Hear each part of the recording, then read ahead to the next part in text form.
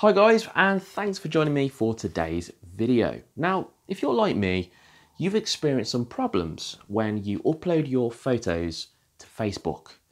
And there's nothing more annoying than going out and taking a picture with your phone or your camera. You're really proud of that image. You want to share it with your family and friends. And then you come across compression issues on Facebook. This is where the quality of your image is just not the same as it was when you took it with your camera.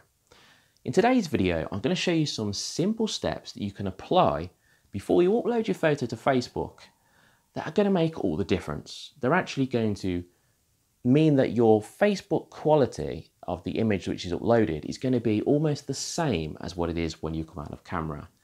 And I know for a lot of people out there, that could make all the difference. It did to me, and fortunately now, I get the best quality that I know I can when I upload my images to Facebook. So that's what we're going to do in today's uh, video. If you're interested in it, then keep watching. And this is going to be a short video. It's going to be about two to two and a half minutes long. And hopefully it's going to answer all your questions. Okay, guys, let's jump in and get started. Okay, so let's go ahead and make these quick changes to your image so you're going to get the best quality when uploading to Facebook. The first thing you want to start by doing is making sure that your image is the best quality. Probably sounds like the most obvious thing that you've heard today, but what you put in, you get out. So you need to put in a great image to get out a great looking image on Facebook. Now that you've done that, you want to move up to File, you want to come down to Export, and finally Export As. Now when this window opens, it's going to give you all the options that you can change to ensure that you get the best quality when uploading to Facebook. The first place you want to start is File Settings, and this gives you your format. Now I've found that instead of using JPEG, using PNG is better. Now some people might disagree with this, and some people will agree with it. Now my thought process behind this is that if you use a JPEG, you're actually compressing the quality of the image. And then Facebook then compresses it again into a JPEG form so I'm thinking that potentially you get two compressions going on and this creates less quality in your final image. Whereas PNG is a lossless format, which means that in theory, you should only get one form of compression going on, and that's just in Facebook. Now I've actually trialed this with JPEG and PNG, and I can see the difference using PNG. Now this is me, you feel free to try this yourself, but this is what works for me, and what I've noticed. The next thing you want to focus on is image size. Facebook clearly states that you've got three widths they advise you use if you want to get the best quality when uploading. And they are 2048,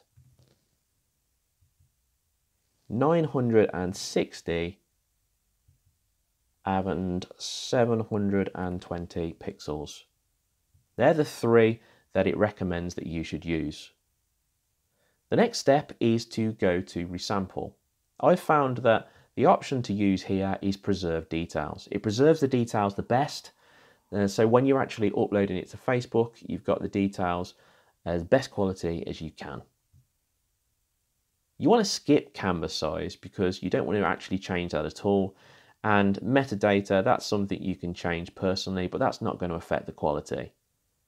The final step is to change the color space if you need to. So for instance, if you are on embed color profile, you'd want to make sure that you change it to convert to sRGB. There's a couple of reasons for this. sRGB displays the proper range of colors in your photo on Facebook, and it also displays it correctly across all browsers. So you're not going to be using one browser and it's going to be displaying some faded colors because it hasn't got the right conversion.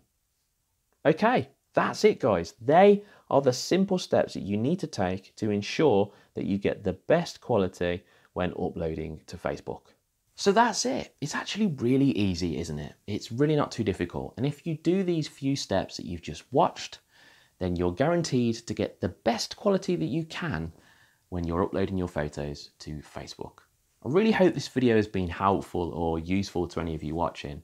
If it has, you could do a couple of things to just make my day. One of them is to just leave me a comment, let me know what you thought about the video, or even just ask any questions. And the other is if you're feeling very generous, you could always treat me to a coffee. Anyway, guys, I hope you've enjoyed the video, and if you have, give it a thumbs up, and whatever you do for the rest of the day, have a good one, and I'll see you in the next video.